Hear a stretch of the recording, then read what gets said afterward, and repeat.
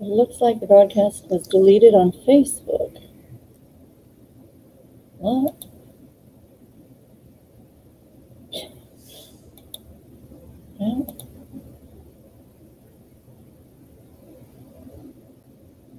I don't know what's happening here.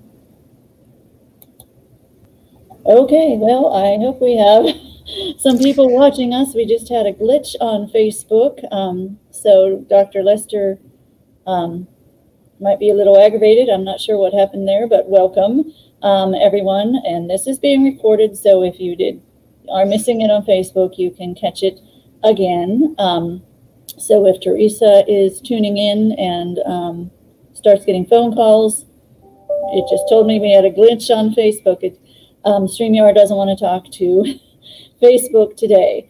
Welcome, um, welcome to the program, everybody. I am Lilly Browning, Dr. Lester's regular co-host, as he um, always refers to me as. Um, I missed the last couple of weeks, so his um, retribution to me is that he is unavailable today. He's actually helping another county um, teach a class.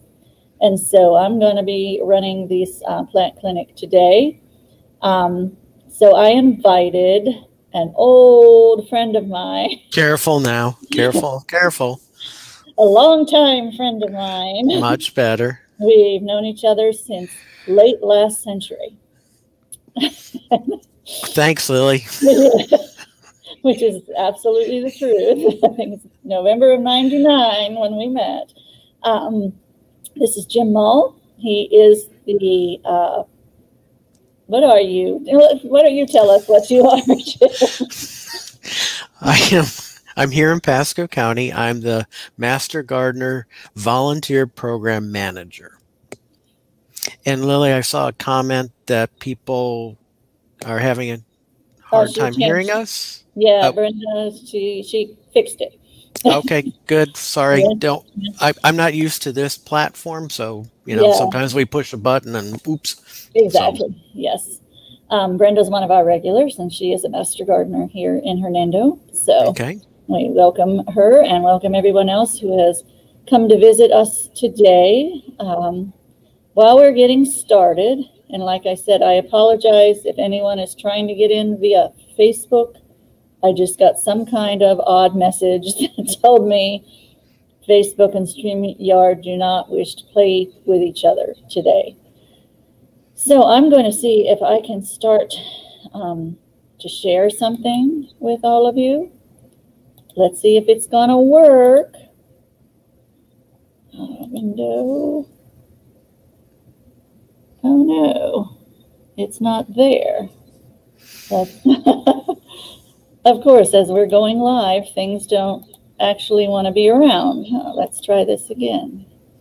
Share, share, share screen, share screen, window. There we go. Okay, can you see that, Jim? Yep, I can see the PowerPoint, but you got to get it, yep, into slide mode. All right.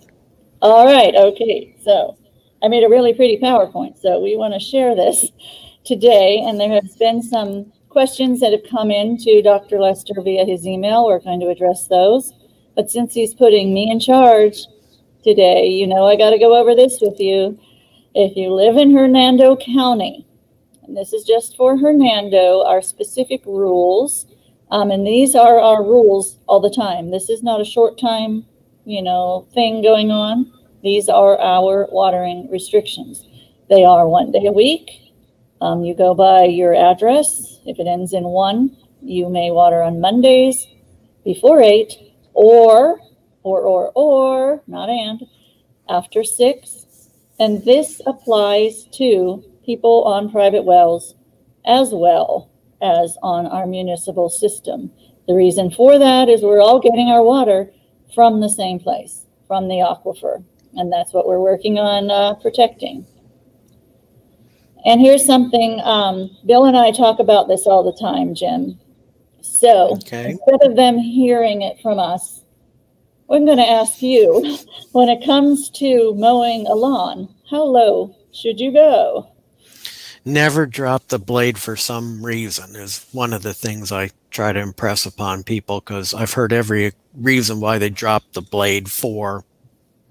That usually begins the a lot of problems. It depends on the turf, of course, but most of our warm season grasses, like St. Augustine, Floratam is one cultivar or selection of St. Augustine, and our Bahia grasses are mowed at three minimum. Four is better uh, all year round. Um, there are some dwarf St. Augustines out there. They're not as common. They can be mowed a little shorter. Um, some of the zoysia is a little bit shorter, but it's closing in on about nearly three inches for Empire zoysia. Mm. So, you know, if you're from the north originally and you're used to mowing at an inch, inch and a half, our warm season grasses will will hate you for that.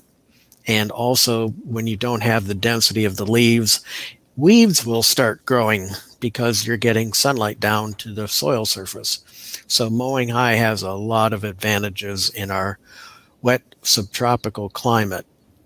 The other problem I see is lawnmower blades being uh, really dulled quickly because we have mostly sandy soil and that sand just gets sucked up by the machine and that quickly dulls a blade. In this picture, it's pretty good.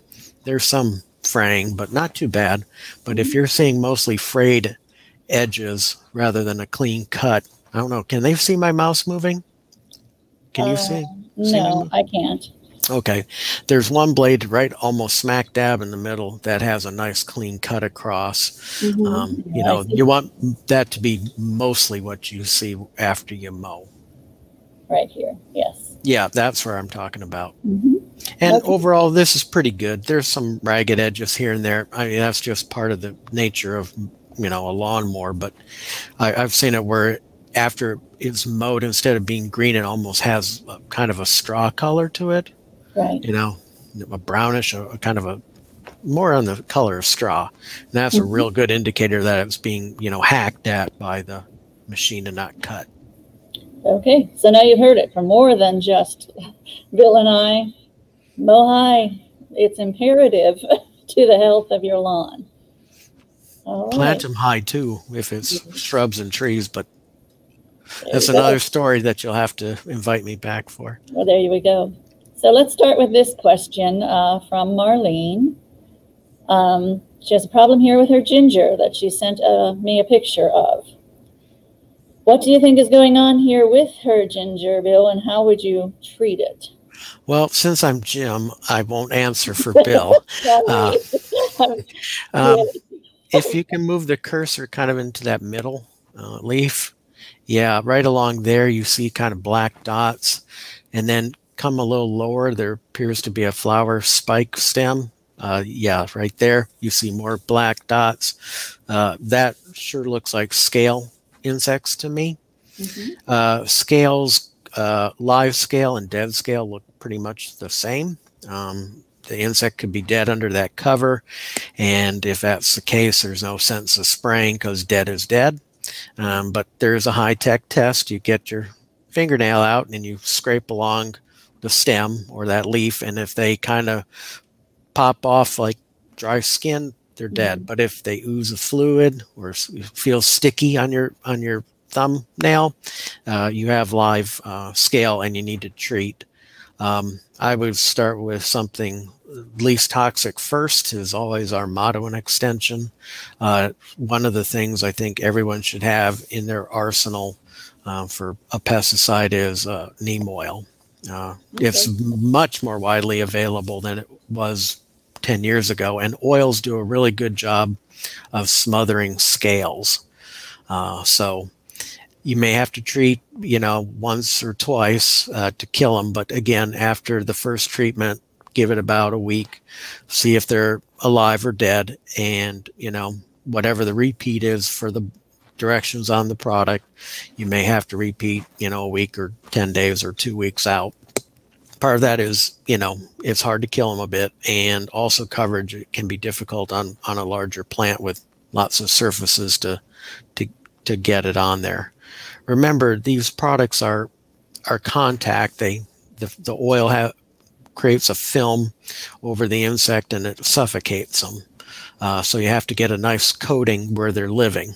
Uh, so if that's on the upper side of the leaves, which sometimes happens, you need to make sure you spray the upper side. But a lot of times insects are on the lower sides of the leaves, and a lot of people don't take their wand and you know go upward with the spray, um, and that's where things can fail.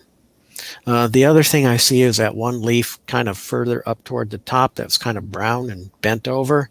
That that kind of looks like it got sunburned, maybe.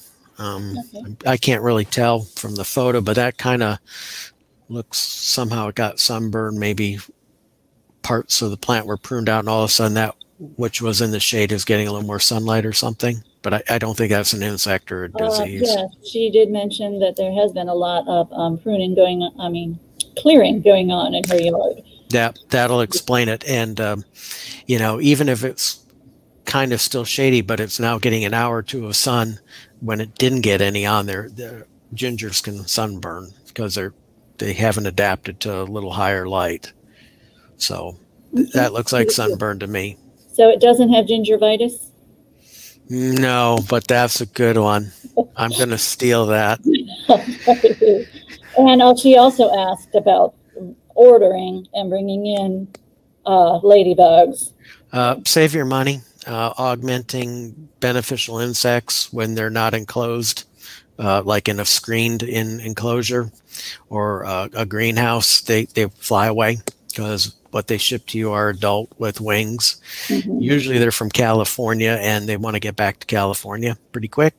Yeah. Uh, so they, they don't stick around. Uh, you have ladybugs in your yard. Uh, learn to recognize the immature because they have complete metamorphosis. So they start off as an egg that mom laid, then they hatch out and they're a larva.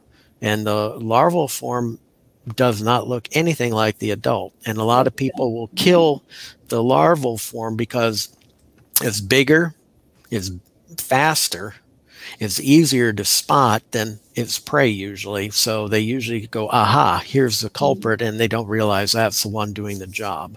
Right. Um, so learning basic uh, entomology of you know what ladybugs look like as an immature is imperative. Plus, ladybugs don't really go after scale that well. Um, there are a lot of teeny tiny little wasps that do. Mm-hmm. Um, and when I say the word wasps, please do not panic. They don't make big colonies and go after you. And you saw those B-rated B movies years ago.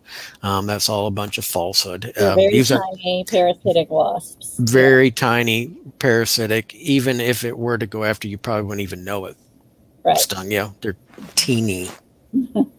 but they're great for the controlling the scale. They now, work this, well. This one um, confounds us. First of all, the slide moved. So um, what it yeah. says is this is a question from Sharon, and she has this pest on her wisteria. And you and I and Dr. Lester discussed this.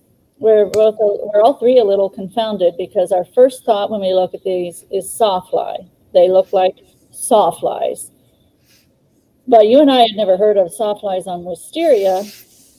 Dr. Lester said he did some research and said that there is a certain kind that will eat, what did he say, hibiscus? Hibiscus and a few other ornamentals, but yes. they're not that common.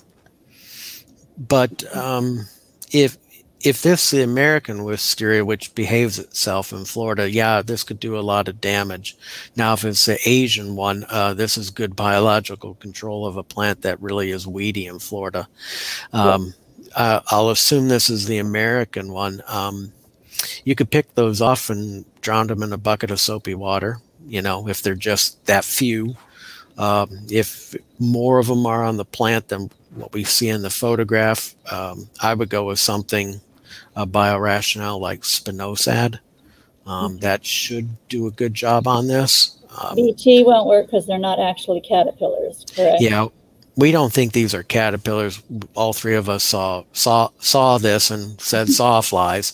Um, yes. But I also scratched my head on the the fact it was on wisteria. I've not seen that in in my career. But now, uh, if there are pine trees nearby, I mean, I would say they just kind of fell there, but they do appear to be consuming the plant. So.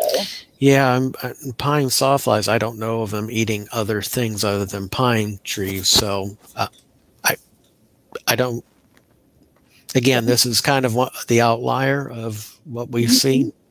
Again, if that's only six or eight caterpillars, pick them off, drown them, squish them. Don't be squeamish, gardeners. And if you're squeamish, put on a pair of gloves. It'll make your life a little less messy to clean up. Um, but okay. yeah, so you have nearly confounded three of us with this one. Now this one is pretty easy. This is a question from Louise, and these are her sweet pepper. Um, she sent this to Dr. Lester last night, and um, I have, these are her words, but I highlighted a couple of the words. She said she noticed these white leaves have fallen off her mini pepper plants.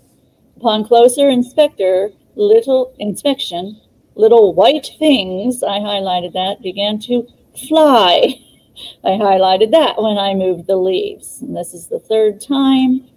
And here's what she has used on it. The reason I highlighted these is because horticulturalists are not all that creative. so she identified this insect without even realizing it. These are what, Jim? They're whiteflies. And whiteflies. and this is a, a big crop. Uh, this, you know, the number has exploded um, with that kind of feeding damage and looking at the plants looking pretty, pretty worn out. And it's summer and it's not the best time to grow most vegetables. I rather than trying to control it, which you're not going to probably get under control really well, and I don't think those plants will have enough oomph to recover. This is the time to be uh, like a professional.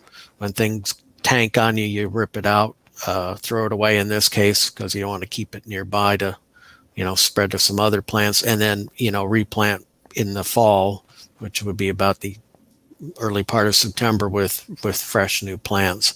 Don't try to nurse some some of these relatively annual plants back to health if they're attacked that heavily. You know, you're right. just Sometimes spinning you your wheels. Consider how much did you pay for the plant? You don't want to spend five times that much trying to keep the plant alive. It's not, you know, economically efficient. Yeah, the sixty-four dollar tomato is a book yes. uh, on that, and uh, some people go to the nth degree to get the tomatoes, and are doing it at the wrong time. Uh, Lilly, I'm just wanting to comment. Somebody said didn't see on Facebook it glitched on on us. Yes, yes. We apologize. So hopefully you found us on whatever platform you're using now. Since I'm not used to this, uh, I called it Barnyard, but it's what StreamYard. StreamYard. I'm not used to this. You, you do work pretty close with 4-H, so I can see where Barnyard came into your into your mind. Now, Dr. Lester was absolutely thrilled with this is one of his regulars. Um, the way that she sent this question to him. And let me show you what she managed to do there. Now, can you see that moving? moving pictures. He was thrilled to have that in his email. And he sent that to me. And again, like I said, horticulturists are not all that creative. So I said, What is that? A grape leaf skeletonizer? I totally made that up. And guess what that is? it's a grape leaf skeletonizer. so. Uh, but, you know, here's kind of a good thing, you know, monitor your plants. And when you see something that doesn't look quite right, can you get the video to work again? You know, flip the leaves over. Most of us are looking at the top side of leaves and going, what's wrong? And like I said a little earlier, most insects are on the underside of the leaves and you can see them all clustered. Right now, the easiest way to control it is to cut that leaf off and stomp on those those little buggers, or you know, if you want to drown them in soapy water, mm -hmm. um, you know, you may find them on a couple other leaves in a cluster like that, since they're so newly hatched. And uh, insect control when they're all congregated in one area is easy, kind of like lubber grasshoppers when they first emerge. You kind of do the Mexican hat dance and squish them. you know, when they're big and jumping around like at this time of the year, um, you just have to go running around stomping them or pay kids to use them as a pet. Um, this is a link, which I'm not going to click on the link because it messes up my PowerPoint, but you can Google uh, grape leaf skeletonizer UF and you'll find this publication. And I read through it, and um, the management, they always tell you the management at the end. Um, basically, they said there's not really any recommended uh, management for it. Just cut it off and, you know, move on, you know, with your day. It's not a severe pest. And that's it with those questions. Um, as soon as I stop sharing, I'll get to see what we have in the chat. Um, next week, as I mentioned, Dr. Lester uh, will not be here again. I will be hosting again, and I have invited Alice Smith. If you look at Extension's Facebook page or my Facebook page, you will see where Alice, who is a master gardener volunteer, as well as president of the Native Plant Society, where she's talking about the native specifically the ground covers um, in front of the extension office here in Hernando County. She um, is uh, largely responsible for the new gardens in front of their office, which are 100% native.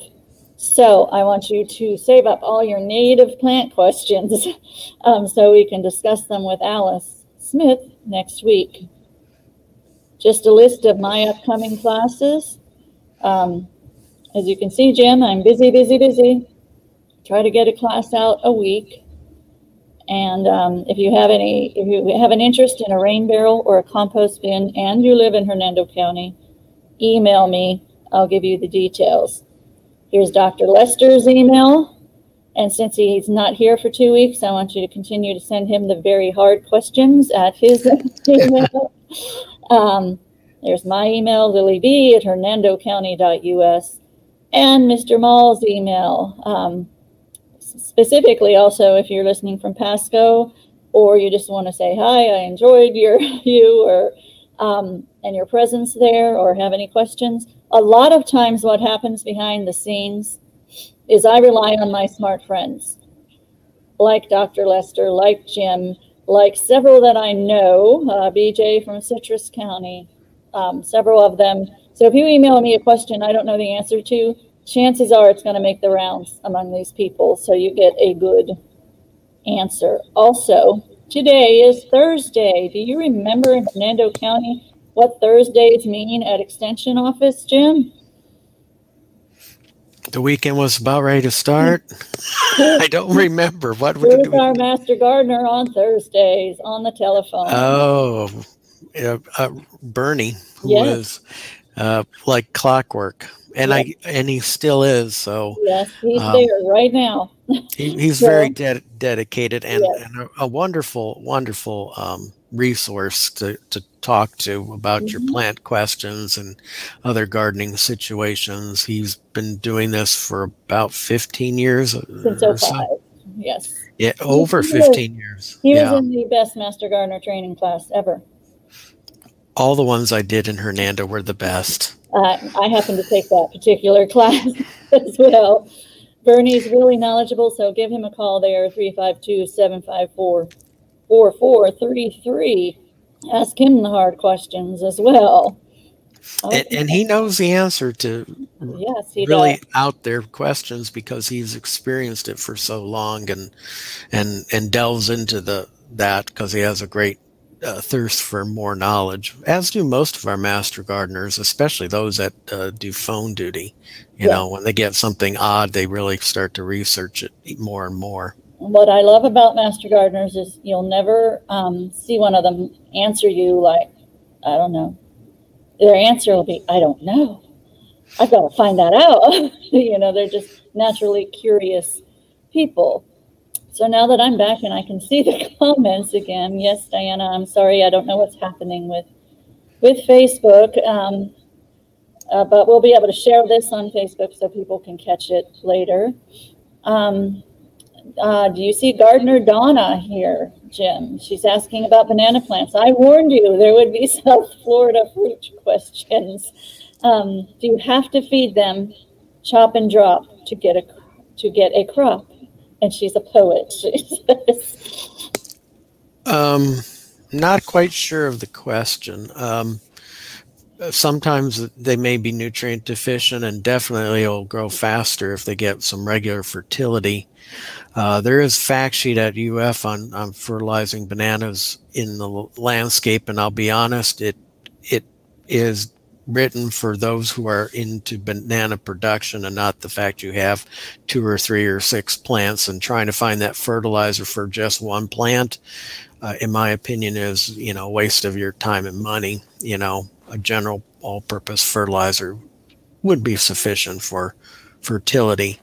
Now the the mother plant after she flowers and produces bananas she will die so those babies are what uh, you you will cultivate for the next crop. Um, and I think that may be the the the chop and drop. You know, the idea is returning yeah, the, that's you know the nutrients a, um, back.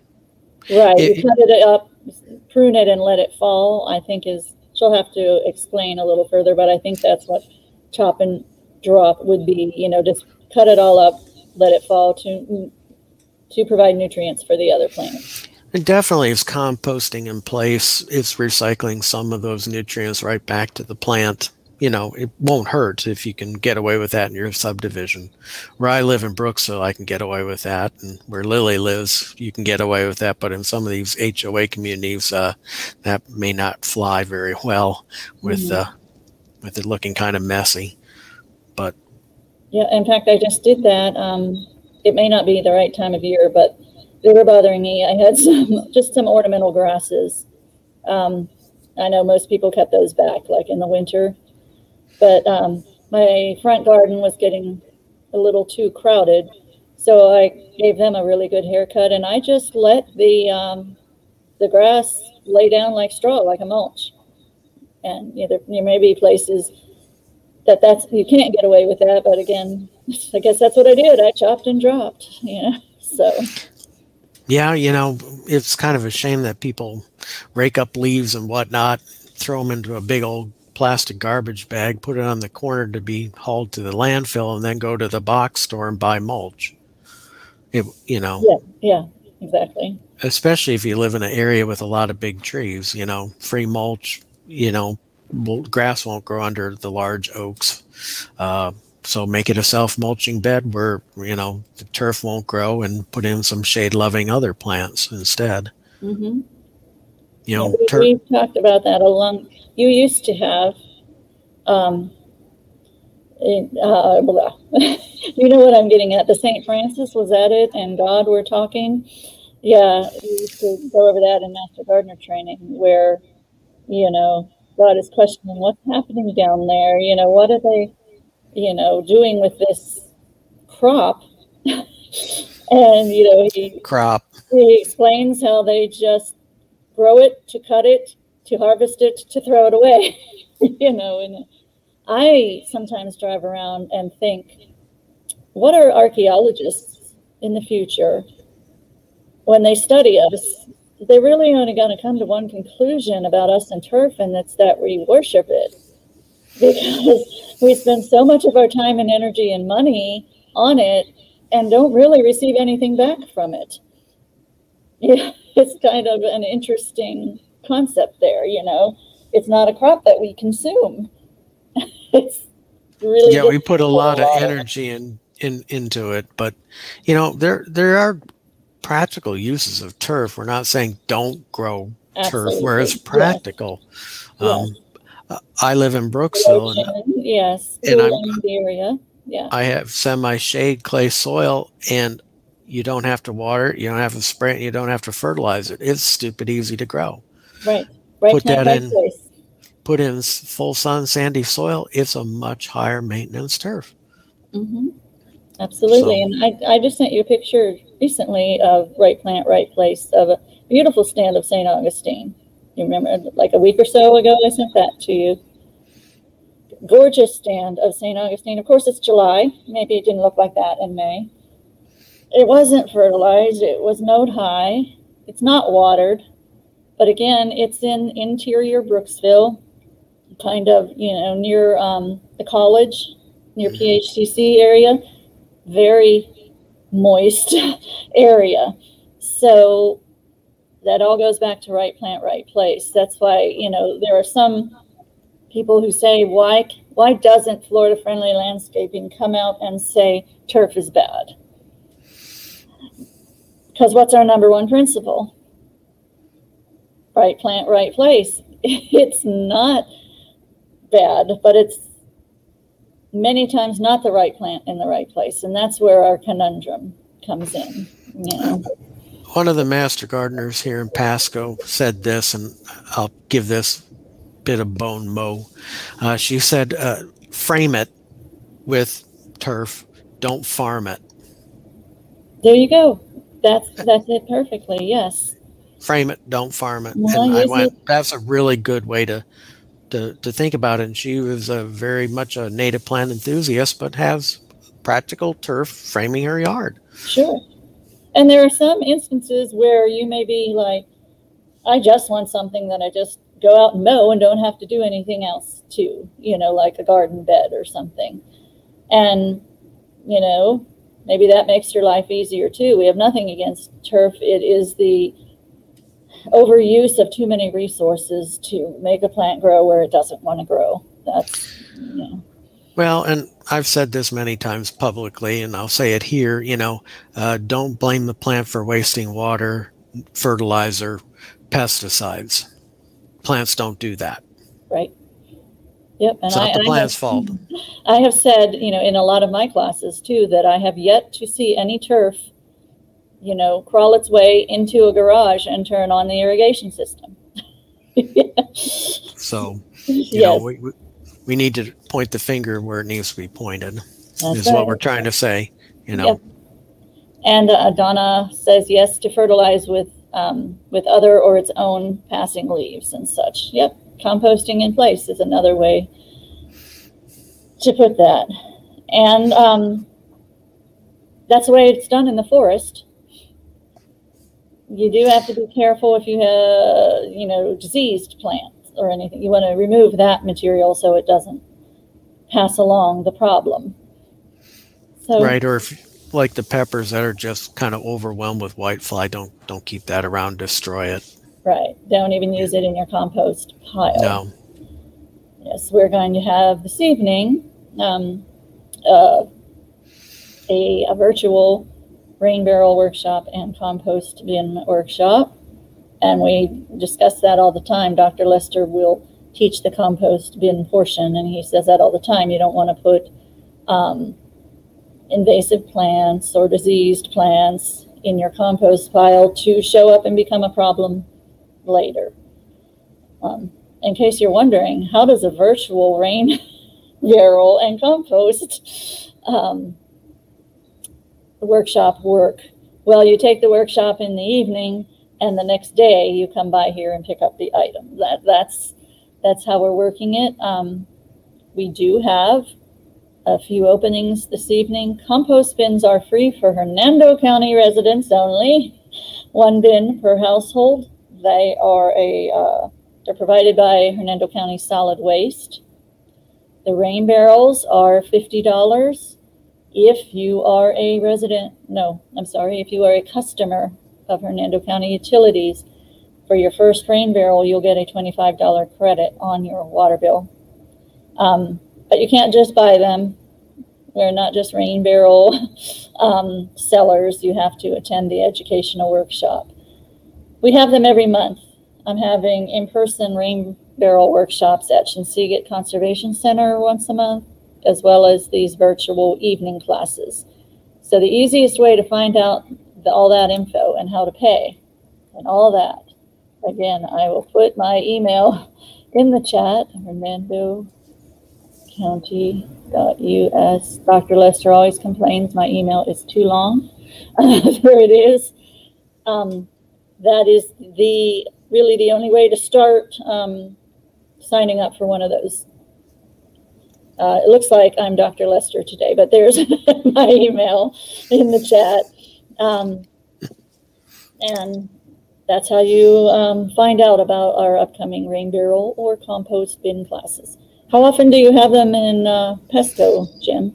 About once a quarter. I, I no longer do them because I have segued from being FFL program manager to Master Gardener volunteer program manager. So about, about once a quarter, and um, they we do it in different locations.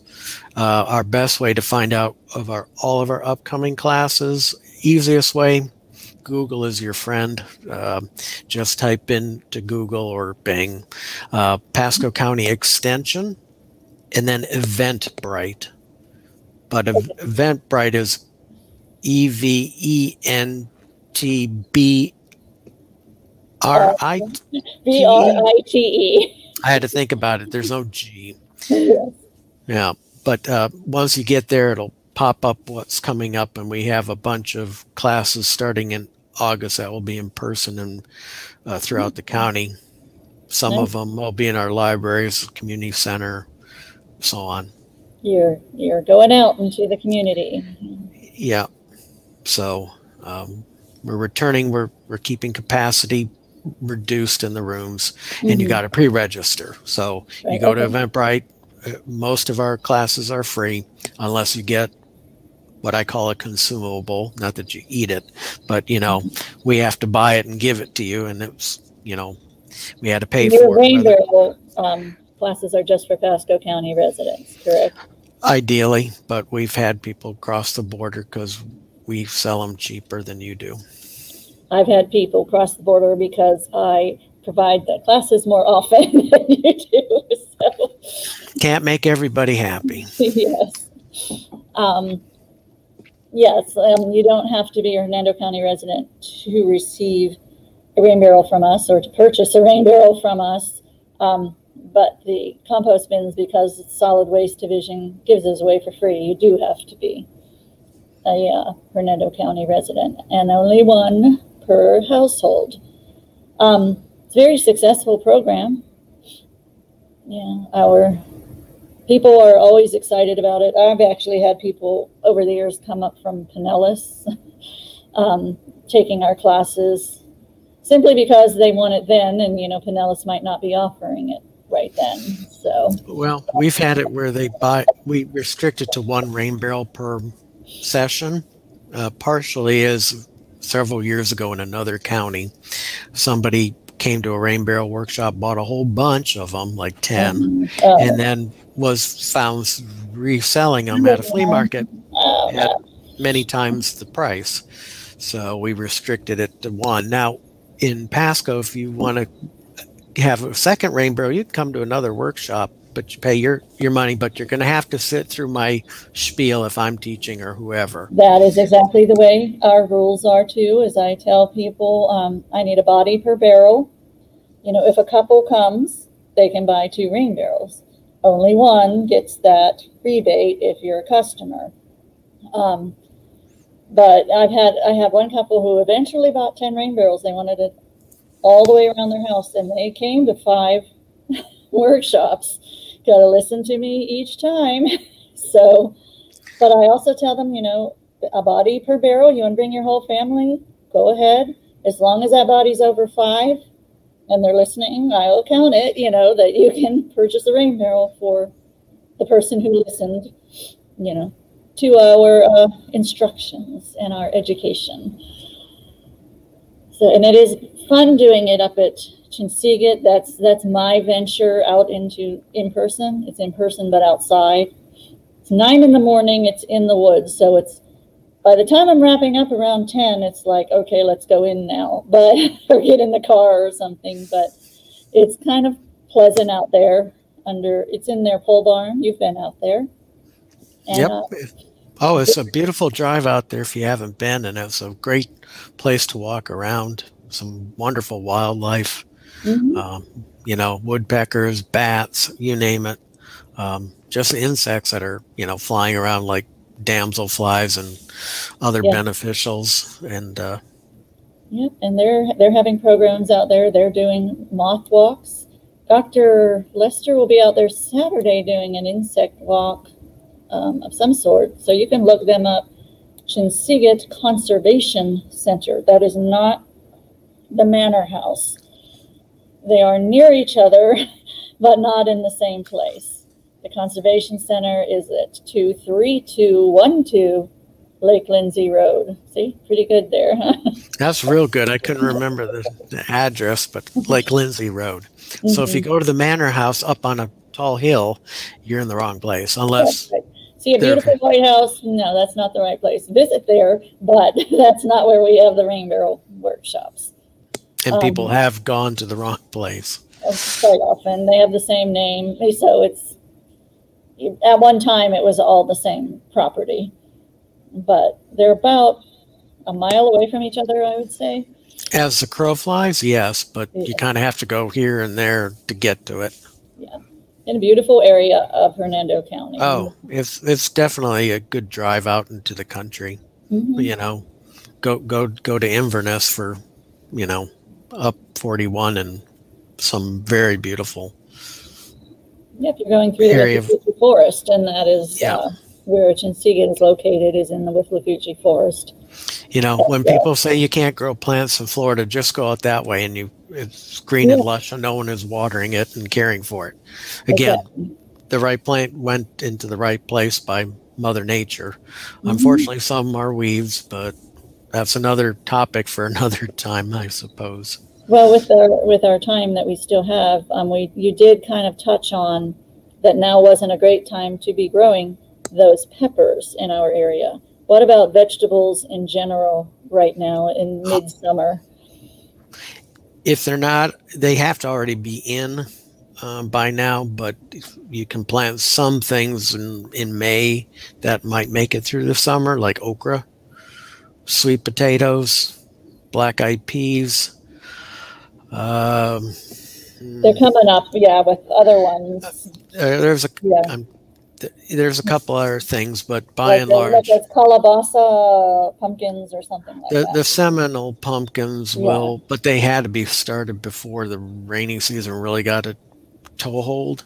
You know, Eh, we don't grow a lot of veggies during our summer months. It's just hot and, and rainy, and they just turn into a pile of goo, or they're stressed, and you know they're an insect magnet.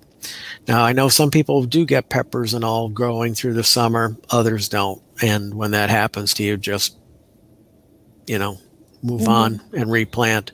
We're not going to plant war- warm season vegetables to about the first part of September.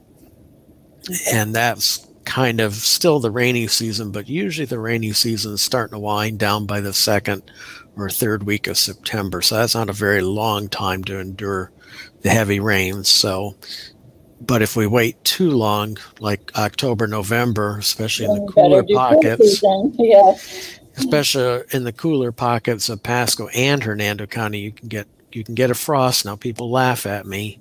We haven't had one in a long time, but uh, it can happen around Thanksgiving. It's been years, uh, but usually we get the first one in in the area about uh, you know between Thanksgiving and Christmas. Uh, the last few years, it's been later, and we're not getting them till past Christmas into maybe the first part of January. So that's extended our season, but that's not a guarantee. And if you you have a crop that's cold sensitive and it, and it's not uh, you know that productive at that point, you'll probably lose it on a cold night. So that's why our timing window is very very precise. And if you miss it, uh, it it just is heartache and pain. yep. It's not the same as up north. Oh gosh, no. Um, you know, you you can't plant your tomatoes on Memorial Day weekend like I did growing up in Milwaukee, and then uh, hope and pray you didn't get a frost after you planted them, and then grow them in the summer. Uh, tomato season ends. Father's Day is a good way to remember. Mhm. It's done at Father's Day. So if you don't have any tomatoes on in June beginning, you're not going to get anything. I have. Um, I'm growing accidentally your favorite vegetable. Yeah. Right now. I'm growing cucumber out of Yeah. out of my compost pile. I have a compost pile right next to my compost bin. But I also, it's growing there on its own, but I don't expect it to come to fruition because of the time of year. Um, Oh. Yeah, insects, diseases, um, many other things are going to go wrong probably with that. Speaking of other things we see at this time of year, uh, right now is this is a, the turf grass season where all the problems are really showing up in, in yards and people are misdiagnosing what they have. we get a lot of brown spot questions starting sometime in June when the rainy season starts up and they keep going till the end of the rainy season. The neighbor will tell you it's chinch bugs. By the time we're having the heavy driving rains, is unlikely to be chinch bugs because they're driven off the, the leaves of the plant from the heavy rains and they don't like wet weather. They like hot, dry. Most of the time, people are dealing with diseases and putting out insecticides, which will do no good. Mm-hmm. So right now, it's knowing what is causing the brown spot or what caused the brown spot. Sometimes what caused it may have been months ago and it's done. Um, a lot of misdiagnosis. So bringing it hit, to your extension office. That. Yeah. Speaking of misdiagnosis, you hit on that. Your neighbor will tell you it's chinch bugs. Now we're seeing a whole lot of uh, community Facebook groups that people decide to ask horticultural questions.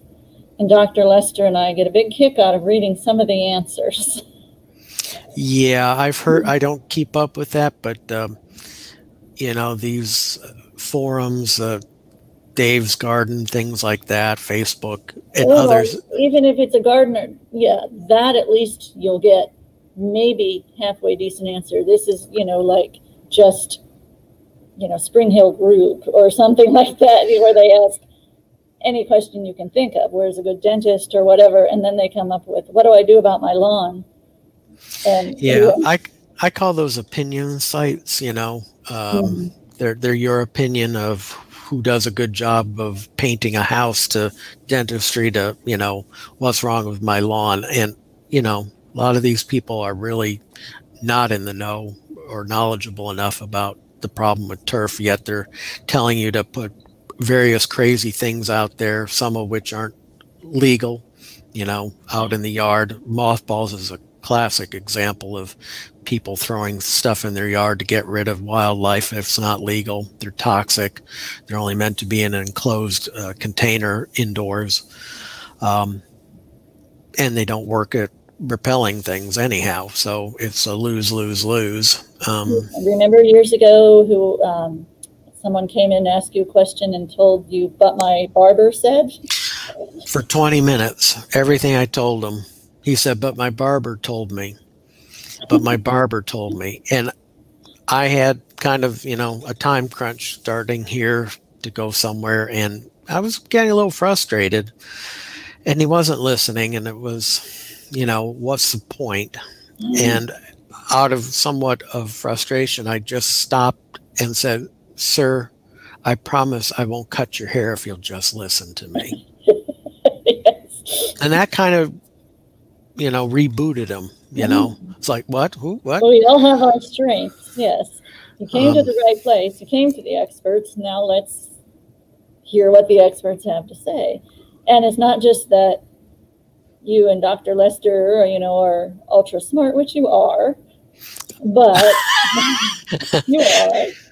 But you you also don't spout your opinion. You spout research based um, information, studied, vetted from our land grant university in Florida for Florida, you know, uh, conditions, soils, all that you know, um, even research done in some of the deep uh, southern states may not always apply, you know, when they have clay soil. Um, right. You know, there's climate similar in Hawaii, but they have beautiful volcanic soil. Right. Uh, so um, it's different. Even mm-hmm. even Puerto Rico, which can have yeah. some climate like us in Florida, um, they have volcanic soil too, and it's a it's a whole different world. So you know, these are for Florida conditions, which there's really probably the only other place close uh, to our climate in Florida is probably that Galveston, Texas area. I think maybe Louisiana. And maybe parts of Louisiana right near the coast yeah. but very little. So that's why all those gardening books, if you schlepped them from the north, they're useless. They're good doorstops, um, but you know they just don't apply. And even some of the the gardening books for the deep south start to fail as you come down the peninsula, as the conditions change from clay soil of the panhandle, where they do get a little more reliable cool down. They get a Mhm. second rainy season in the winter that we don't quite get on the peninsula, and uh, so their conditions are are are different uh, there. It's But the gar- Yeah. and and the gardening books start to fail the further south you come on the peninsula and and it's a big state I, what is it 700 miles from from the keys up to the georgia border i think I'm not sure. Yeah, but it's it's big. Yeah. So And- it's yeah, and people created boundaries, you know, for political reasons and and named states. If you know, if the plants were in charge or the animals were in charge, I'm sure it would be totally different. So there's you know different like areas. The Panhandle's nothing like Miami, you know, and Central Florida we're kind of stuck here in the middle, and we can't you know grow peaches very well like they can up further north because we don't have the chilling hours but nor can we grow you know royal poinciana or you know the great tropical plants so. It, it narrows down the plant palette because those that need the chill don't get enough of it here and those that can't stand the chill can't make it here so that plant palette really gets squeezed to far fewer choices and that's because of we're right at a tension zone between subtropical tropical. And like i said if you get into tropicals one bad night is all it takes for for this to to be killed in many many cases. And a lot of people who have moved here within i'd say even the past 10 years they've not seen a cold no, spell yet. Haven't. no no. And you and i have experienced um, cold fronts that would routinely kill st augustine lawns been a while but Yeah, I haven't seen that probably 16 years or so, but it used to happen. and it could still happen you know i i don't think those days are completely over i think the the the interim between them is you know further than it Yeah. was 20 or 30 or 40 years ago i mean they used to have terrible freezes in florida in the 60s and 70s and 80s mm. and by Yeah. 1989 Yes. By 1989 that was one of the last of the big freezes of florida hmm you know, of the big ones. And that's 32 years ago. So I say this Americans have rotten memories. we forget Sure, yes. that these things happen. And, you know, we do get occasional cold fronts that are devastating. Um, to even St. Augustine, which has some cold hardiness, but, you know, middle teens or middle 20s, excuse me, and you leave your um, your uh, irrigation system running, you're going to kill it. hmm We'll Yeah, talk no, about And also, don't freak out and think just because your turf turns that straw colored that you just mentioned in the winter, that it's dead. No, that is a natural way of dealing with being semi dormant because of the shorter daylight hours. I'm trying to teach people to love their golden winter lawns. yeah, and don't think adding water and fertilizer in the winter is going to turn it green. It won't. You're just wasting money and water. And if in case you're wondering why is my grass green under the snow up north, but it turns straw colored here, well that's the difference between a cool season grass and a warm season grass. And what do we grow? Most of the southeast, I would say, grows a warm season grass. When I travel north on the roads in the winter, all the grass is that golden colored through Virginia, really. So And just to say this, there is no perfect grass. They all have their pros and cons. Um, some are easier to maintain without irrigation, like Bahia, um, common Bermuda, uh, but they need a lot of sunlight. Uh, you have semi shade, well, your options are more toward the St. Augustine, but that's kind of higher maintenance. Um, different insects, different diseases. Uh, you got to pick your battle. Uh, and if you go to the store and see some miraculous product trying to claim that it'll go from 110 degrees down to 40 below, and it has the word Canada at the top, it ain't going to grow here. or something like that. I, I've Yeah. seen people try to buy these miracle grass seed, you know, on the internet. mhm. You know, they're looking, what can I grow in and most of the time, first of all, our warm season grasses to grow it from seed. The vast majority of people have done it. In my almost 22 years of experience, have failed. Right. Um, the we get a heavy rain, the seed all washes away. It takes about four to six weeks for germination. Best time, a whole lot of weeds in that time frame. And up. weeds come up. I've only had a handful of people say, "Yeah, I managed to get a good lawn out of it." Very few. Mm-hmm. Uh, most of the time, they spent a couple hundred dollars on seed. It failed. Then they came back in and said, "What do I do?" And I'm like, "Buy sod." Right. Yeah. And St. Augustine, there is no seed for it. Anyway. Right. And sometimes people think that's some kind of conspiracy. well, St. Augustine in the hybridization process is essentially a mule of the plant world. So it has to be propagated asexually. Essentially, those stolons or runners are cuttings, if you want to think of it that way. The cutting is horizontal rather than upright, but uh, same idea. Mm-hmm if it's just there is no seed for it, it's not. Yeah, it, it's cloned. you know. Yeah, Floratam is a clone, mm-hmm. and it is genetically identical to every other Floratam lawn. Um, cloning has its pros and cons too. You get uniformity. There's a pro. The con is if the whole subdivision has one genetically identical plant planted, you know, corner to corner, front to back, Mother Nature does not like monocultures very nope. well. Nope. And we were, yeah, Bill and I were discussing that in the class we gave on Tuesday. And I say that all the time. Diversity, diversity is the key to any healthy ecosystem. Yeah, and we can talk about palms, you know, or other trees and shrubs. You know, if you plant all, put all your eggs in one basket, kind of setting yourself up. Mm-hmm. Yep, well, we're running out of time. Um, if anyone has any last minute questions, now's the time to to throw it in there. I guess they're just just hypnotized by our knowledge. yes, hip, hypnotized. Yes, and Jim is not in the witness protection uh, program. Just so you know, he doesn't have very good lighting there in his office. He claims he's uh, purposefully hiding from us, but and thank you, Linda. Thank you for joining us. Um, Linda's one of our regulars as well. Hi there, Linda. I don't know the regulars, so. Yes. All right. Well, do you have any last minute words of wisdom for us? Uh, less is best, and when in doubt, don't. You know, don't start throwing stuff at it when you don't know what's wrong.